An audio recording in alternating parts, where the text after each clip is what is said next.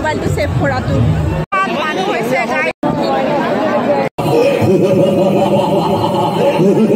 যাদুৰ পৃথিৱীখনত গাইজ এতিয়া আছো নলবাৰী ৰাসত। বহুত মানুহ হৈছে। আৰু এয়া সোমোৱা গেট হয়। মই অকণমান আপোনালোকক বেক কেমেৰাৰে দেখাই আছো। এয়া আৰম্ভণি। খুব ধুনীয়া ডেকৰেশ্যন হয়। ইয়াৰে চাৰিওফালৰ ভিউটো অকণমান দেখাই দিছো।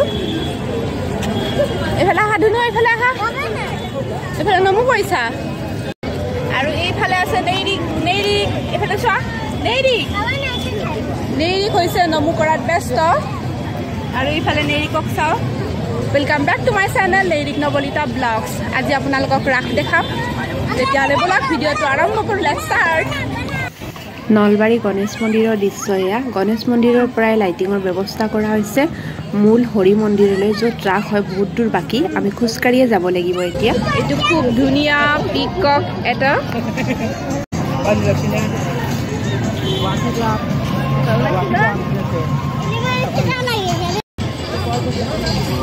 গাই চাৰিওফালে কেৱল মানুহ হোৱা দূৰত দেখিছে এয়া সোমাইছোহে মাত্ৰ। আৰু ভিতৰলৈ যাবলৈ আছে।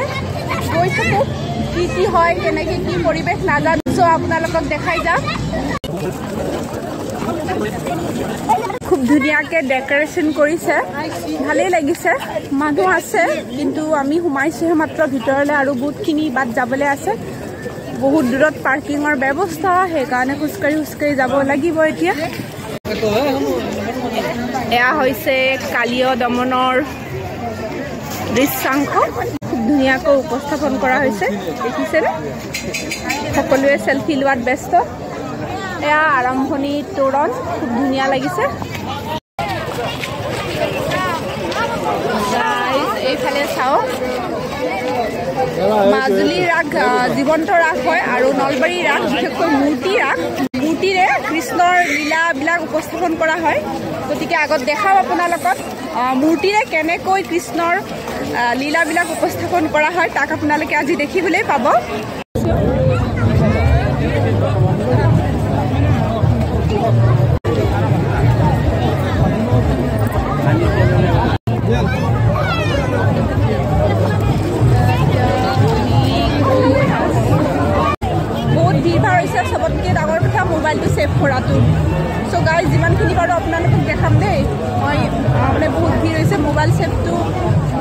মষ্ট ইম্পৰ্টেণ্ট হয় তাৰপিছত যিমানখিনি পাৰোঁ আপোনালোকক দেখাই যাম।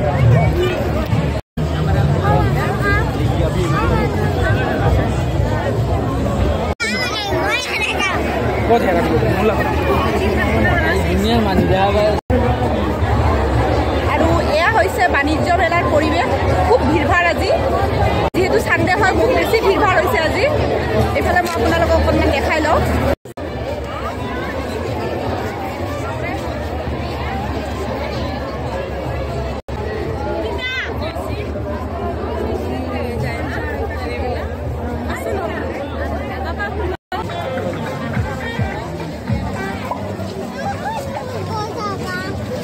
আমি এতিয়া গৈ আছোঁ হৰি মন্দিৰলৈকে আৰু ইয়াৰ ৰাস্তাৰ পৰিৱেশ দেখিছেনে ৰাস্তাত কিমান মানুহ বহুত ভিৰ খোজকাঢ়িবই পৰা নাই? জনসমুদ্ৰত পৰিণত নলবাৰী ৰাস চাৰিওফালে কেৱল মানুহ আৰু মানুহ থিয় হ'বলৈ জেগা নাই একেবাৰে ঠেলা হেঁচা ভিৰ ভাৰ গৰম লাগি গৈছে দেই।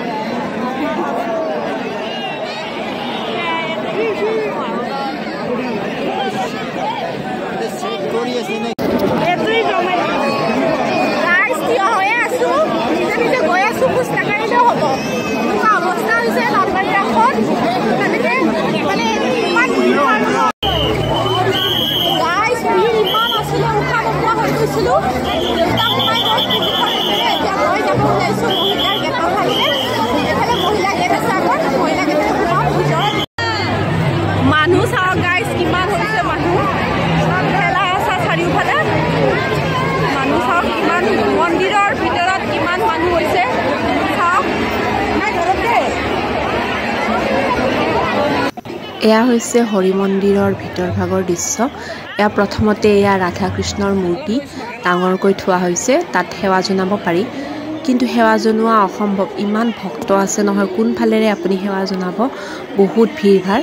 গতিকে আগত শিৱ মন্দিৰ এটা পাম তাতে সেৱা জনামগৈ। সুন্দৰভাৱে ৰাধা কৃষ্ণৰ মূৰ্তিবিলাক থোৱা হৈছে। খুব ধুনীয়া উপস্থাপন খুব ধুনীয়া লাগিছে। দেখি ভাল লাগি গ'ল।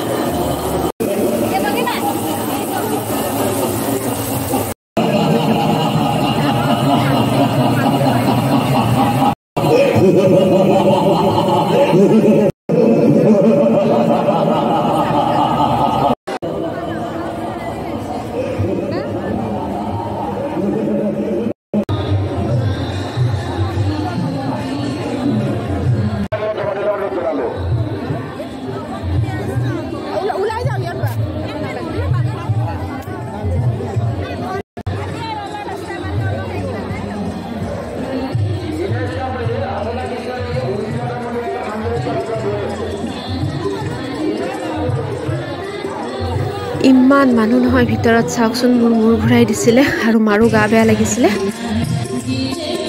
মন্দিৰৰ ভিতৰত থকা মঞ্চৰ পৰিৱেশ এয়া। খুব মানুহ হৈছে দেখিছেনে? চাৰিওফালে মানুহ আৰু মানুহ। বহুতখিনি বস্তু মই আপোনালোকক দেখাব পৰা নাই কাৰণ যাবলৈ বহুত দিগদাৰী। যিহেতু নেৰিকো আছিলে সেইকাৰণে।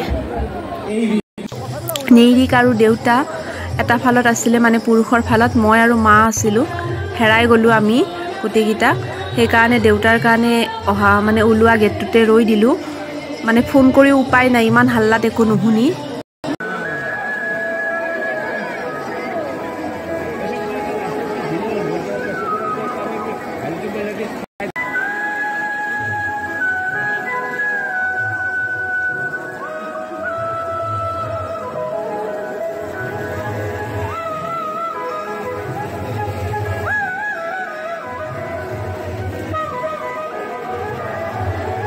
ওলাই অহা ফালতে মানে গেটৰ ওচৰতে এয়া বৃন্দাবন বনাইছে তাকে অকণমান উপভোগ কৰিলোঁ।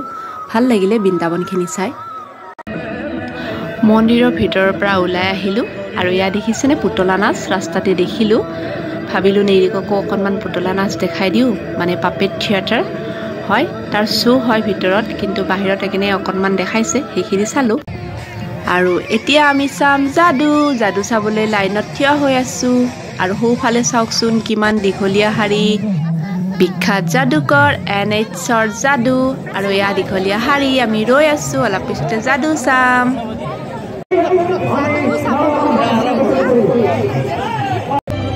এই যাদুৰ পৃথিৱীখনত মায়াময় প্ৰতিটো মুহূৰ্ত উপভোগ কৰিবৰ বাবে আপোনালোকৰ পৰা আমি মাথো বিচাৰিছো এক মুকলি মন।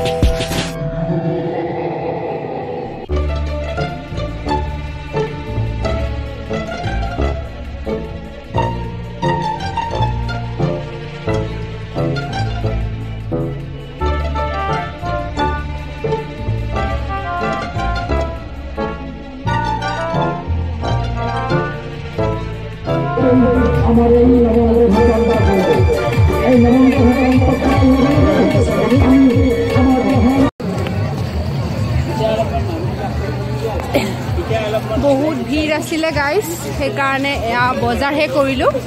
কিন্তু খুব বেছি ভালকৈ দেখাব নোৱাৰিলোঁ। বহুত প্ৰব্লেম হৈ যায় ইমান ভিৰ আছিলে।